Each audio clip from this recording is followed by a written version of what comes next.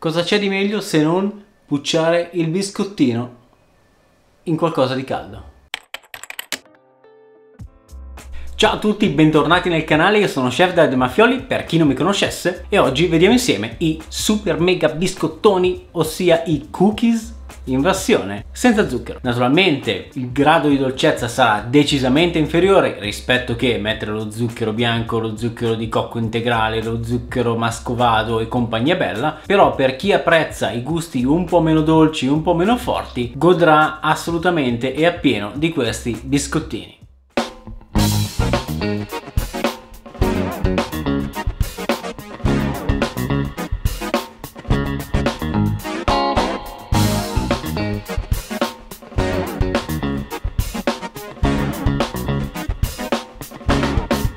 Ricordo solo che questo biscottone è super super super delicato quindi solo quando sarà completamente freddo spostalo dalla teglia per evitare di romperlo perché scoprirai che questo biscottone è super super super super friabile.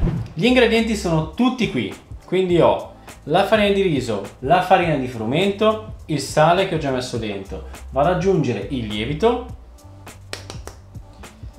metto i semi di chia ma se non hai i semi di chia vanno benissimo anche i semi di papavero il cioccolato che mi raccomando deve essere bello fondente io sto usando un 75% tritato. Ora vado a mischiare. In modo da miscelare perfettamente tutte le farine, il lievito, il sale, tutto e qui a parte ho già mischiato latte di soia, olio di girasole e olio di cocco. Frullo con il mini primer, un minutino il tempo che si emulsiona tutti insieme e adesso vado ad aggiungere tutto questo all'impasto. Lavoro il composto con una spatola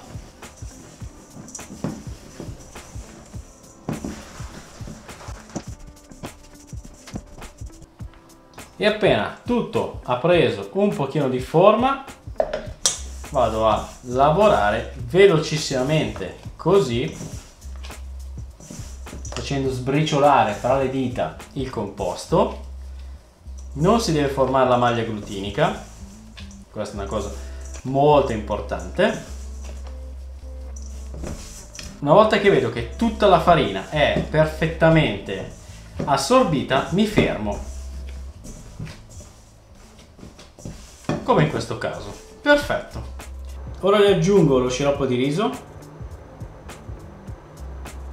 Lavoro l'impasto ancora qualche secondo, tempo di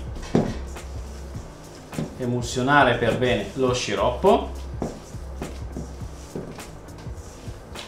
Eccolo qui, vediamo l'impasto che sta insieme ma è comunque un po' sbricioloso.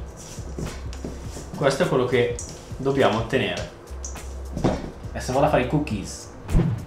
Per un risultato ottimale, una cottura ottimale, ti consiglio questo tappetino microforato, che questo è della Debuye ma esistono di 50 marche, ti lascio il link in descrizione di questo che è quello che l'ho provato funziona benissimo, perché praticamente avendo il traforo sotto traspira e fa cuocere molto meglio il biscotto.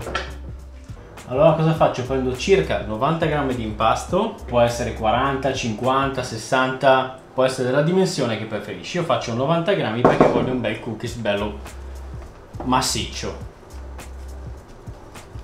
Schiaccio all'interno dello stampino, gli do una forma regolare, lo livello il più possibile. Molto bene. E procedo così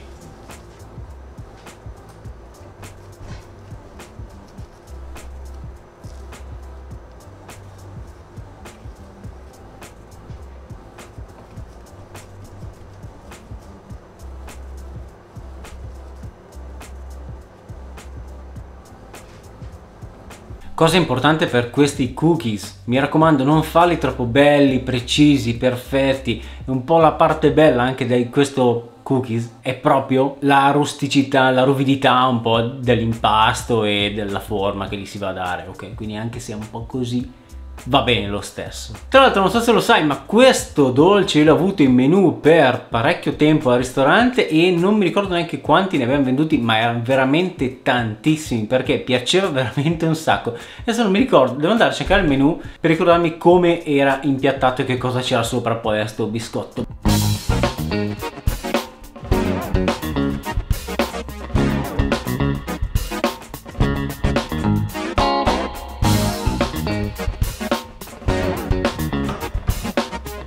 La cosa bella è che è facile e veloce da realizzare, quindi semplicemente dovrai avere gli ingredienti, mischiare tutto e andare a infornare. Ah, se non lo sai però, ho anche un altro dolce super super facile che voglio condividere con te. Segnati la data, 16 novembre, webinar su il pan dolce genovese, ossia quello che è il panettone nella versione genovese, quindi quello basso, senza tutte le alveolature, che sembra tipo un biscottone, tanto per intenderci. Se ti interessa lo prepariamo insieme il 16. Se ti iscrivi al link che ti lascio sotto nel primo commento, lì semplicemente una volta che ti sarai iscritto ti mando tutta la lista degli ingredienti, l'attrezzatura, tutto ciò che ti serve e così il giorno 16 cuciniamo insieme il nostro pan dolce genovese. Tra l'altro buonissimo, io te lo dico, buonissimo.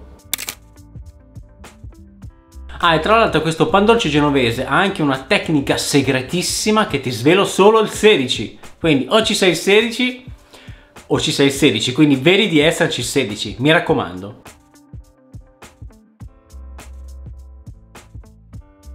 Ciao!